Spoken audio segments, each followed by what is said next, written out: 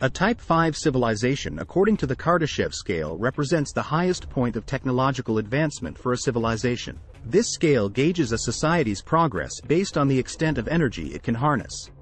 In the context of this theoretical civilization, it goes beyond being limited to a single galaxy or universe, extending into multiple universes or dimensions. This civilization would possess the capability to control and exploit the energy, matter, and even the properties of various universes or dimensions. The technology wielded by this civilization would appear so advanced that less developed societies might perceive it as magical. Such civilization could potentially shape or obliterate entire universes, altering the fundamental constants of physics and manipulating reality in ways that are currently beyond our comprehension. Nevertheless, as our understanding of concepts like the multiverse and higher dimensions is still in its infancy, these notions remain largely speculative and are the stuff of science fiction rather than established